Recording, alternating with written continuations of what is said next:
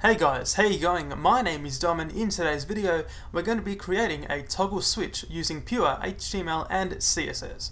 Okay, so this right here is the finished product. As we can see, we have this toggle switch. So if I click on it, it goes to on. If I, of course, click it again, it goes back to off. So it's very straightforward and easy to create this right here uh, with no JavaScript. Okay, so this actually uses a regular uh, input field with a type of checkbox behind the scenes, which means you can essentially use this right here um, in any area which you already have an existing input field with a type of checkbox. So it's going to work with traditional page form submissions or um, essentially, like I said, anything that supports an input type of checkbox. So anyway, let's go inside this tab right here and begin from scratch to, of course, create what we just saw. So back inside or inside the, uh, the actual text editor, I have something like this. So we're going to work on the HTML first before moving on to the CSS. So for the HTML, we're going to need a new label element. Okay, so this one right here is going to wrap the entire solution. So inside the for attribute, we can say, for example, uh, my toggle.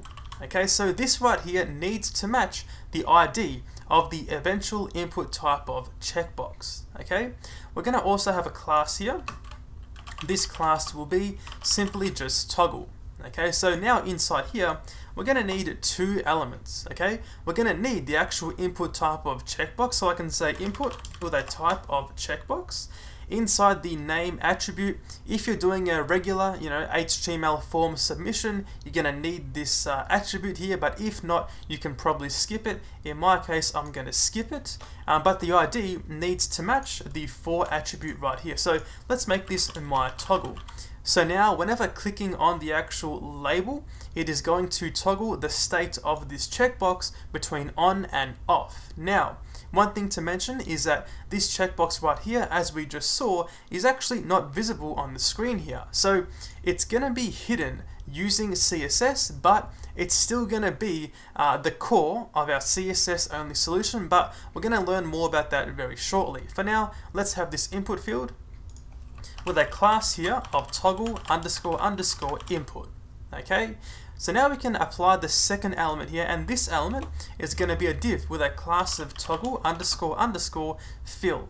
Okay, so this element right here is essentially everything visible, sorry, uh, visible on the screen from earlier. So this label and this input are invisible at all times, but this fill is everything we just saw. So the fill itself is essentially the background here, the grey background, which then changes to a green background.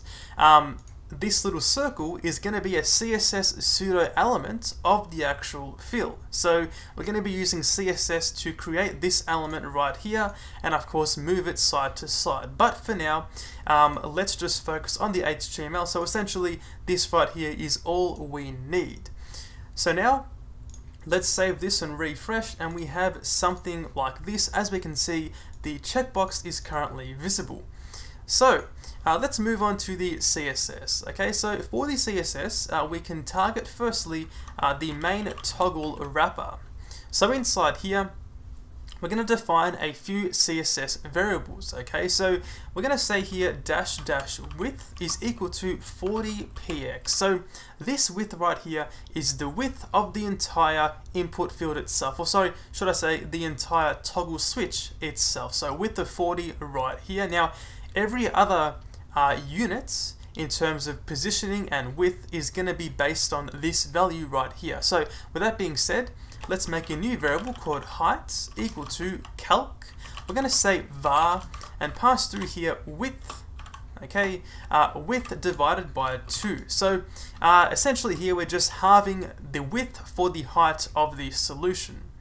For the border radius, we can say dash dash border radius and for this, we can just use once again calc. This time we're going to halve the height. So I'm going to say var and pass through here height, um, then divide that by 2. So now we have these three CSS variables for usage um, from here on. Okay, so alongside these variables, we can also apply a few normal styles. So I can say here display as inline block, and this is basically just going to ensure that the actual uh, solution itself, this whole toggle switch is going to uh, behave uh, as we expect, essentially just wrapping the contents inside here.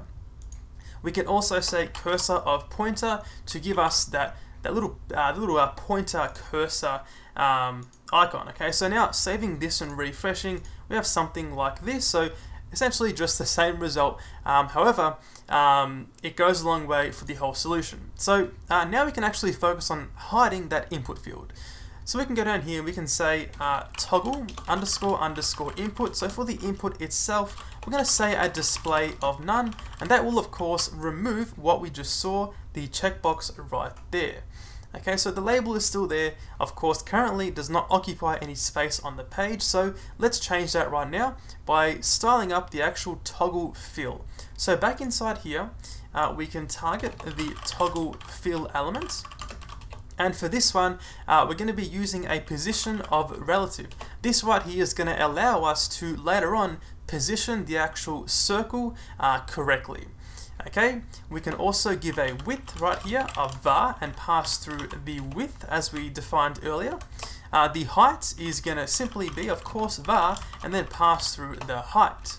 Okay, let's give it a border radius also.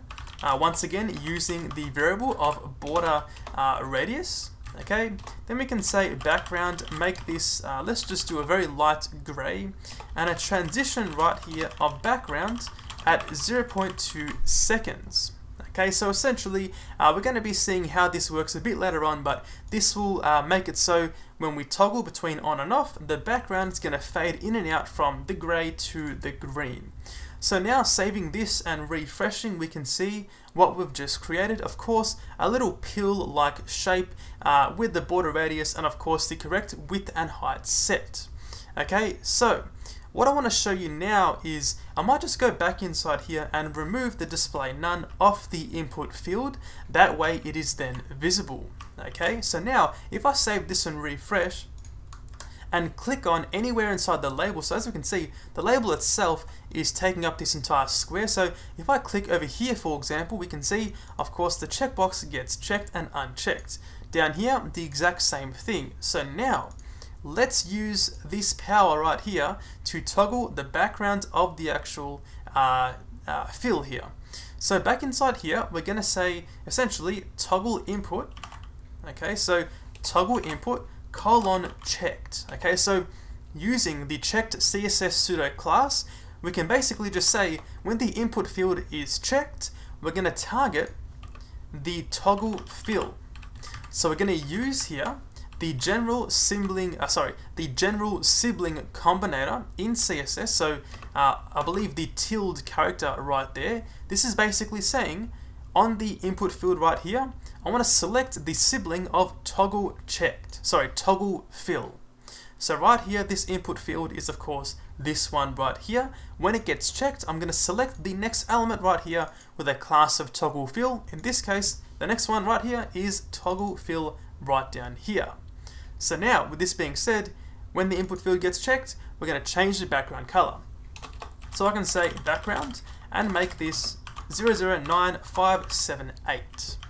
So now saving this and refreshing, we can see here if the input field gets checked, the background color changes. So that is the core of our solution, or at least our CSS only solution. So now let's go back inside here and just remove or place back this display none uh, to get essentially a lot closer to the final result. Okay, so the very last thing to do here is of course going to be the actual circle that slides back and forth. So like I said earlier, for that, we're going to be using a CSS pseudo element. Okay, so let's target the toggle fill. I'm going to say toggle fill uh, colon colon after.